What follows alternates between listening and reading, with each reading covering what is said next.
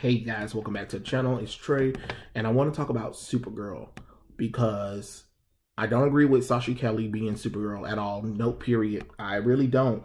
But I think there is one thing we can make work that could work, that could possibly work for Supergirl. Possibly, possibly work for Supergirl. I don't know if a lot of you know because once again, of course, you know, I've read I've read plenty of Supergirls and stuff like that, and I completely forgot.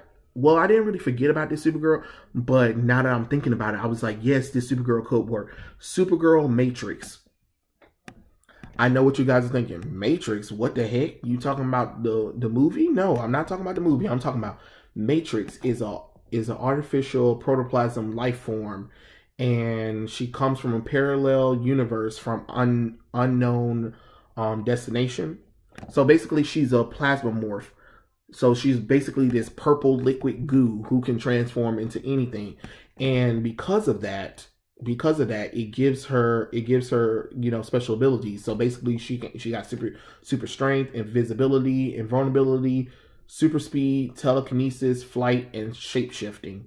So what I'm thinking is that we can get Sasha Calle as Supergirl Matrix, where she comes from a pocket dimension trying to find Superman but runs into Flash.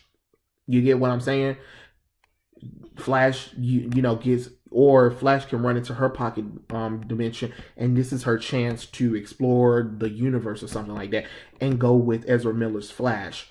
This could work because then you she can be like, um, she can, you know what, she always heard about the story of Superman and decided that she took she needed um, a physiology compared to Superman, so she morphed her body into uh, a form that would be suited for a character like her, which is Supergirl. She saw Superman and made a female version of her made a female version of herself, and she becomes Supergirl. She can be Matrix.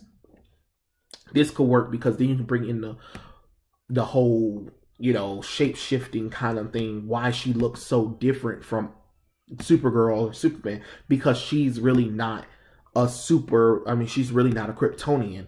She is a um a plasma um uh, a protoplasm life form that was artificially created in a pocket universe, a version that was created through another version of Lex Luthor. You know what I'm saying? So you can open up stories with this character that you can bring in. That way, you can still have her as Supergirl, but show that she is not Kara Zor-El. She's not an alternate version of Supergirl. She is literally an artificial protoplasm who shapeshift into a be um a character. And because she heard about Superman, she changed herself to resemble Superman if that makes sense, or at least resemble the ideologue of Superman, which gives her, you know, the reason why she would look like Super Supergirl anyway. I'm just saying it works better like that than to say that she's an alternate take of Kara Zor-El or even an alternate Supergirl because like I said, again, read plenty of Supergirl. There's really not that many different ones, especially, you know, Hispanic, Latin women that have been Supergirl. But with this reasoning, with Matrix being um polymorph, you can have the reason why she looks like this girl because she saw this girl, she saw Superman, she took both their images and created a body for herself to become Supergirl. And then she was like, you know, my name is Matrix, but you can call me Supergirl. Bam! There goes your idea. That is how we do this character. This is how you can be accurate to comic books, but also being able to be different enough where it doesn't disrespect fans by giving us bullcrap race change version of Supergirl. You gave us this um this artificial artificial protoplasma life form that can shapeshift and there goes your good reasoning for why Sasha Calle is Supergirl instead of actually getting a white person to actually play Kara Zor-El which you should have got in the first place. But I'm just saying, those just that's just my opinion. I just think that you can do so much with this character anyway because she doesn't really do much. I mean, she doesn't She hasn't done anything in in years, to be honest. But what I'm saying is, at least if you bring in this character, you can get a resurgence of Matrix anyway, because Matrix has been seen since she merged with Linda Linda Danvers. You know the the alter ego of Supergirl in some occasions, which is the base model of Kara Danvers in Supergirl, you know, but that's a whole nother story with Matrix because Matrix has a complicated history. I mean, Matrix and Supergirl all together has a complicated history. But uh, what I'm saying is, in order to, you know, quench the rage of fans who are fans because I'm not going to be like some t- some trolls or whatever and stuff like that because I don't think anybody who cares about their characters and want to see them accurately depicted on screen nothing is wrong with them.